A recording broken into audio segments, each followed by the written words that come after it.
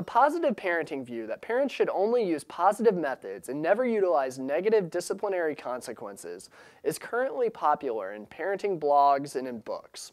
However, Dr. Robert Larzelere, who is a professor at Oklahoma State University and has conducted research on the topic, says negative consequences should not be totally discounted.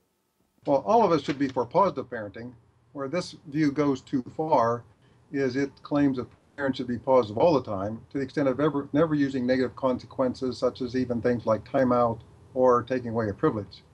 Uh, when when parents bring uh, difficult children, we call them defiant or oppositional children, to a clinical psychologist, the number one thing they teach them is to use timeout in response to their noncompliance, along with acting positively as much as possible when they're playing or when they're doing appropriate behavior.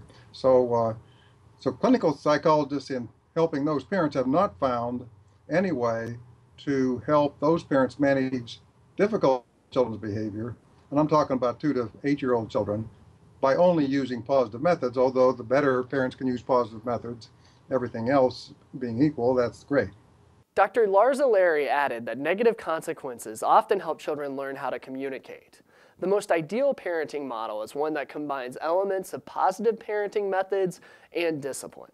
A kind of balance is important, and different children need different kinds of balance.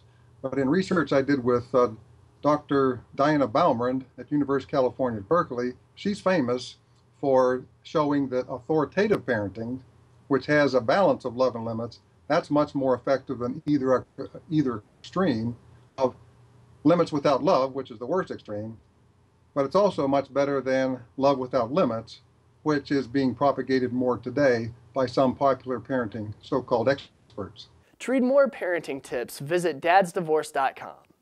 That'll do it for another episode of Dad's Divorce Live. I'm Sean Garrison, editor of dadsdivorce.com. We'll see you next time.